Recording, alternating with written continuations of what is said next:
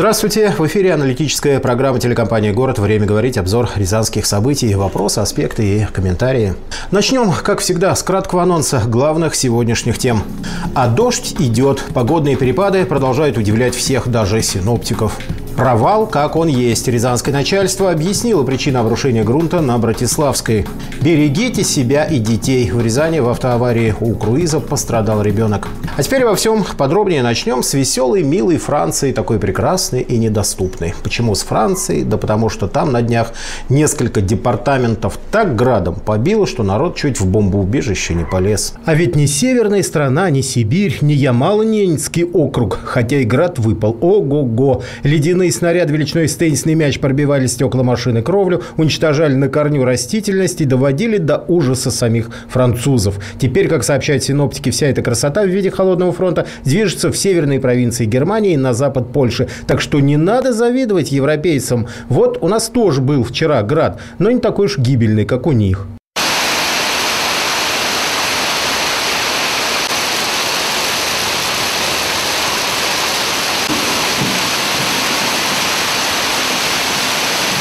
Можно вспомнить и августовский град прошлого года. Тоже достался рязанским весем отнюдь не слабо. Сейчас погода имеет самый скверный взрывной характер, а впереди длинные выходные. Завтра у нас День России.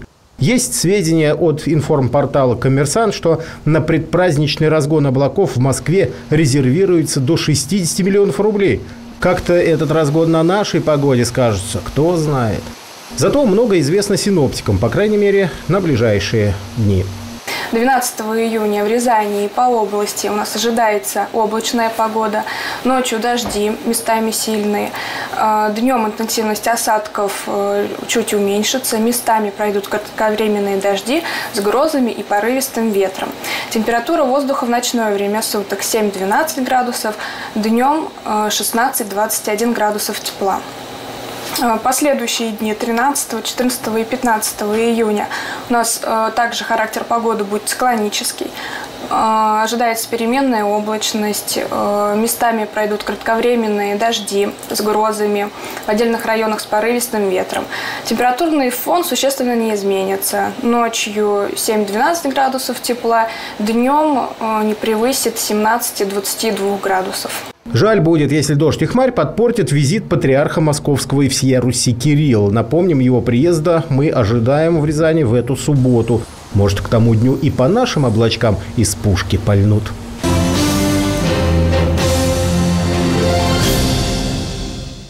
14 июня Рязань посетит патриарх Московский и всея Руси Кирилл. Святейший патриарх совершит освящение храма в честь святого праведного Иоанна Кронштадтского и божественную литургию. Для паломников и гостей города, желающих посетить божественную литургию, к храму Иоанна Кронштадтского с вокзалов Рязань-1 и Рязань-2 с 7 до 9 утра будут пущены автобусы по маршруту Рязань-1, Рязань-2, улица Чкалова, Весенняя, Высоковольтная, улица Островского, роддом номер 2.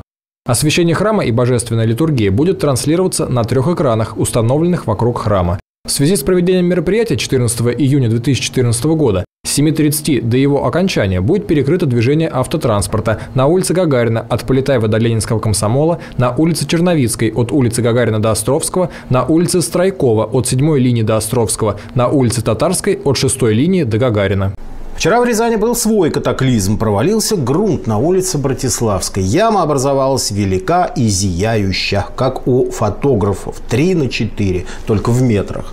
Тогда первое полуофициальное объяснение возникновения каверны было таково. Дожди подмыли грунт, вот и все пошло вниз. Сегодня более обстоятельные провальные сведения добывал Глеб Галушкин.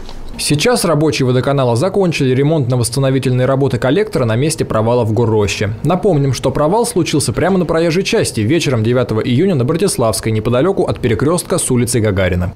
Глубина образовавшейся тогда ямы была не менее трех метров. Автомобильное движение на время ремонта перекрыли. Провал произошел по причине э, попадания сточных вод в старый брошенный коллектор и размыло дорожное полотно. Э, муниципальное предприятие «Водоканал» приступил 10 числа сразу же к восстановительным а, работам. А, основная работа проводилась в камере, чуть выше этого провала. Был затампонирован старый коллектор и направлен в новый э, коллектор диаметром 1000, э, полиэтиленовый коллектор, который был построен несколько лет назад. Причиной нынешнего провала стало попадание сточных вод в старый коллектор и дальнейшее размытие грунта. Чиновники из администрации сообщают, что по всей Рязани ведутся работы по обнаружению таких опасных мест. Впрочем, провалы все-таки периодически случаются. И обходчики в любом муниципальном предприятии, и в тепловых сетях, и в водоканале знают э, и свои коллектора, где водопроводные сети проходят магистральные. Э, периодически э, происходит осмотр этих мест – и э, провалы часто возникают э, на месте восстановительных работ после аварии. Ну, проседает асфальт, может быть, из-за некачественной работы подрядных организаций. Это все контролируется и э, приводится в порядок. Сейчас на Братиславской идут работы по благоустройству. Вскоре автомобильное движение на этом участке вновь откроют. Еще о жизни и погибели недавняя жара, которая стала потихоньку уже и как-то забываться, ушла волной, забрав трагическую дань на рязанских водоемах. По нескольку человек в день тонуло совсем недавно, и никакая профилактика не давала особых результатов. Потерявшие большую часть разумения от жары и часто горячительных напитков, люди стремились в воду, а это ведь, хотя и в формате пруда, но стихия, она не шутит. Ситуацию анализировала сегодня Оксана Тебенихина. В администрации Рязани прошел брифинг, посвященный вопросам обеспечения пожарной безопасности и предупреждению гибели людей на воде. По итогам первого полугодия в Рязани произошло 133 пожара, в которых 5 человек погибли и 13 получили различные травмы. Несмотря на неблагоприятные погодные условия, на сегодняшний день не менее актуален вопрос безопасного времяпрепровождения на воде. Для обеспечения безопасности на пляжах организовано дежурство спасателей, медиков и полицейских. Сегодня в Рязани открыты четыре официальных пляжа – на Ореховом озере, на двух Барковских карьерах и на реке Старица в Солодче. Также еще раз обращаюсь к населению с убедительной просьбой организовывать и планировать свой отдых на водоемах в тех местах, где это безопасно. Сотрудники МЧС предупреждают, что купаться в водоемах с необорудованными пляжами небезопасно. Ни в коем случае не оставляйте без присмотра детей. Не злоупотребляйте алкогольными напитками. По последним данным ГУ и МЧС, с начала купального сезона, то бишь с мая месяца, на водоемах области погибли 11 человек. Обстоятельства смерти еще шести человек, обнаруженных в воде с начала купального сезона, пока выясняются. Специалисты отмечают, что в большинстве случаев причиной гибели людей становится купание в необорудованных местах на так называемых диких пляжах, причем в состоянии алкогольного опьянения. Сегодня неподалеку от торгового центра «Круиз» в Рязани произошла автоавария, в которой пострадал ребенок. Узнавала подробности Оксана Тебенихина. На северном обходе произошла авария, в которой пострадал ребенок. По нашим данным, женщина, находясь за рулем отечественной «шестерки», въезжала на окружную со стороны Солочинского шоссе. С полосы разгона она резко перестроилась влево, аккурат под колеса едущего там грузовика. Малыш, находившийся в легковушке с травмой головы и другими повреждениями, был госпитализирован. Подробные обстоятельства происшествия выясняются. 58-летняя пенсионерка, жительница Московской области, управляя автомобилем ВАЗ-106 при развороте против движения транспорта, совершила столкновение с движущимся в попутном направлении автомобилем ЗИЛ под управлением жителей города Тверь. В результате дорожно-транспортного происшествия пассажиры «Жигулей», две девочки 4 и 10 лет, жительницы города Норильска, которые приходятся внучками женщине-водителю, получили травмы, с которыми доставлялись в детскую областную клиническую больницу города Рязани. В госпитализации пострадавшие не нуждались.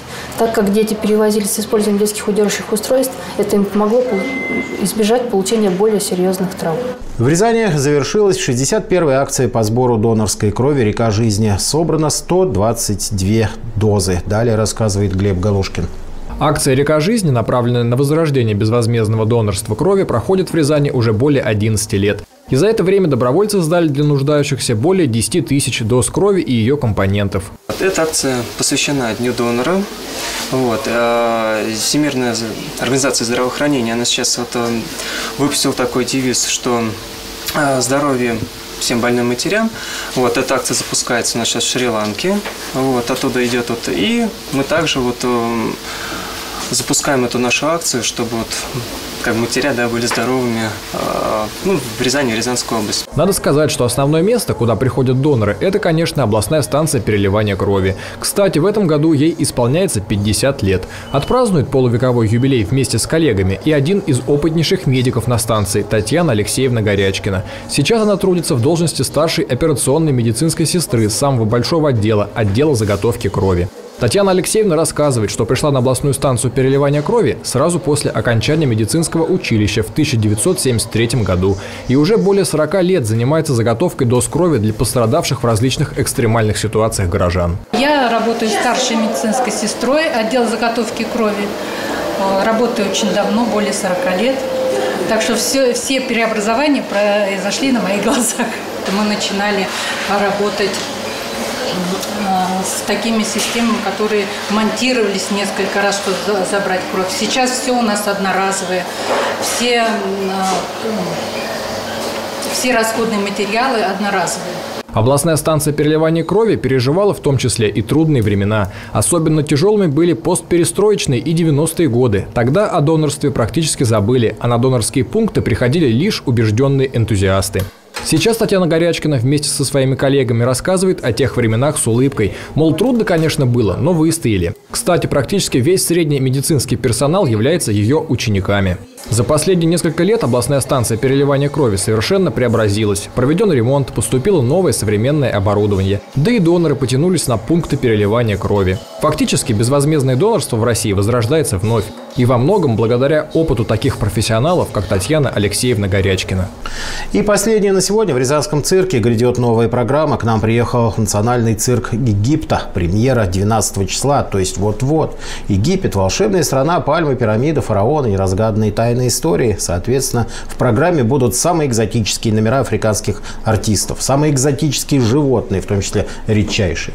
Звезда египетского цирка, дрессировщик Хамада Кута дал интервью интервью нашей программе и рассказал о секретах дрессура, а также откровенно ответил на вопрос, бьют или нет животных дрессировщики Египта. Цирковые номера с участием хищников, пожалуй, самая яркая часть любого представления. Но вот увидеть, каким образом проходит дрессировка этих опасных животных в Рязани можно было впервые.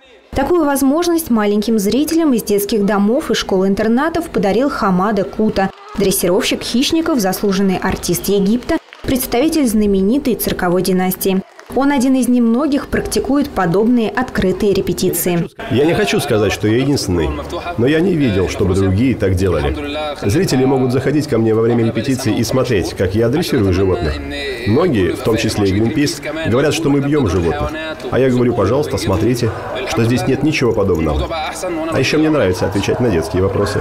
Такого зрелища Рязань еще не видела. Хамада подробно рассказывал, а самое главное показывал, как проходит дрессура его подопечных – нильских львов, которых, кстати, в мире осталось всего около 400 особей. Казалось, эти большие опасные животные понимают каждое его слово, ну а самое главное, они не боятся своего учителя, а любят и уважают.